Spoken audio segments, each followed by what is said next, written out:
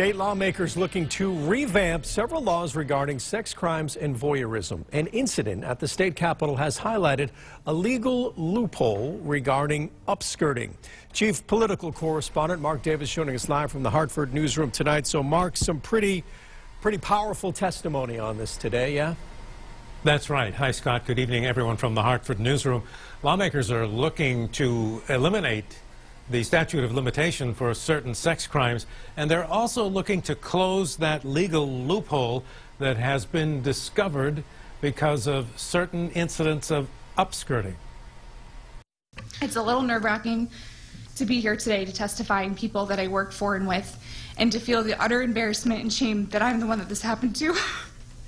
Legislative staffer Erica Pocock was relating an upskirt incident that happened on an escalator at the state capitol, an incident that was captured on a security camera, clearly showing a male staffer placing a cell phone under her skirt between her legs, followed by a flash.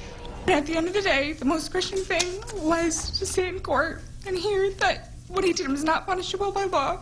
The male staffer was allowed to resign, but apparently was accused of other incidents at nearby retailers. But because of a loophole in the law, faced no serious penalty because upskirt in a public space is considered in plain view. You're only protected if you are in a dressing room or a bathroom. So if you were going up the escalator and someone were to take a picture of you under your skirt, you're not entitled right now to your privacy because that's considered plain view. Carrie Fasone, a teacher from Cromwell, also testified to lawmakers today on another proposal to extend the statute of limitations for rape, telling lawmakers she was raped 23 years ago when she was 19 and it has caused over two decades of trauma.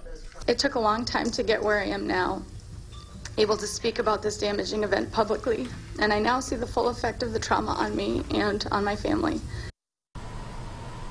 Now, the proposal that Carrie was testifying about would eliminate the statute of limitation for Class B and Class C felony sexual assault, and for adult victims, it would raise it from the current five to 25 years. Live from the Hartford newsroom, Mark Davis, News 8.